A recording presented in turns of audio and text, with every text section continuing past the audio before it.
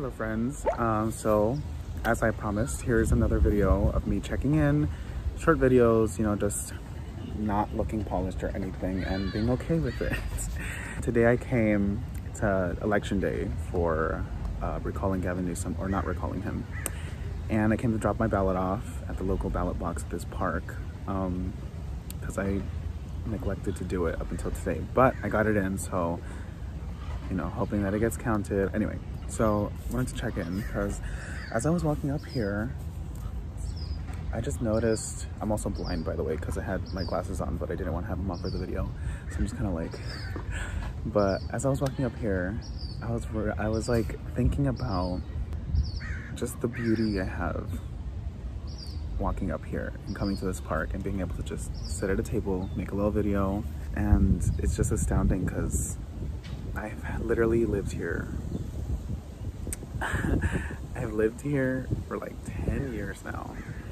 Well, two of them were like away at college, but 10 years, that's like almost half my life. And I really, I feel like I can count the number of times I've come to this park in like with like less than 100 times easily. And I think that's so sad because it's so pretty. They've been making renovations, you know, and it was at times like, oh my God, like, know, this is like my park, how dare they renovate it? But it looks nice now.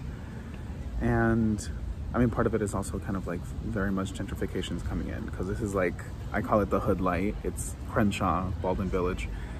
And they're just kind of like slowly creeping in. Um, so it makes sense, you know, they're kind of like making it pretty and like whatever. But um, still, even through that, it still felt like home. Like it's never felt like a place where I couldn't be. I think that's very special because just me sitting here like being comfortable enough to like, you know, just sit here and like talk to my phone or make a video. Like, yes, part of it is, you know, can be the, the surrounding area, but I don't think it's ever been unsafe, you know, like since I moved here at least. Um, which again, like, what does that even mean? But I think the, the obstacle has always just been me in my mind, just being like comfortable enough to come out here, just to walk up here, you know, being this open space. And, and I feel like I personally do that just a lot. like I just kind of get in my head, I put my own limits, you know, and I'm like, oh, like, it's too much work to do this or it's too much effort to do that. I'll stick to what I know. And that's, you know, normal. It's human. It's just how I function. Like I I thrive in the spaces where I feel safest.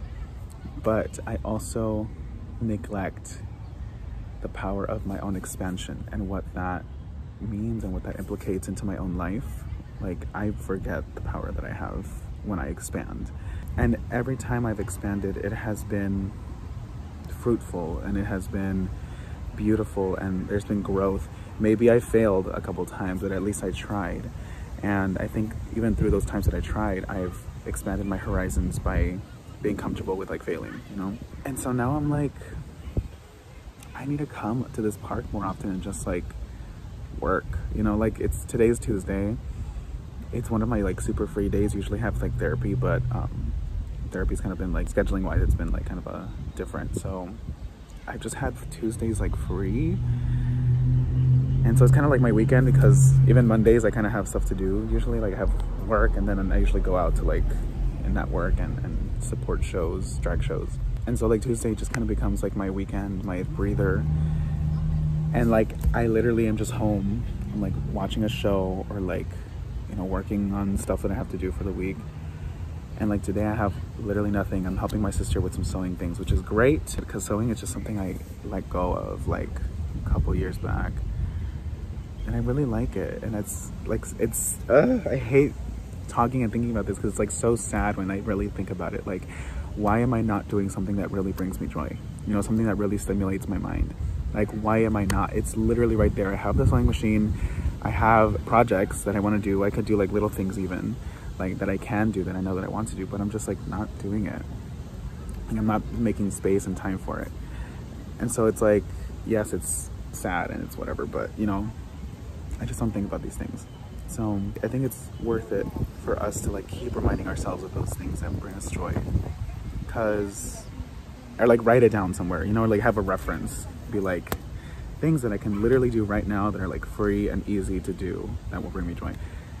Like, I think we need to invest in, you know, a little freaking book or something that we can just keep and like write those things down in. So I think that's what I'm gonna do as soon as I get home.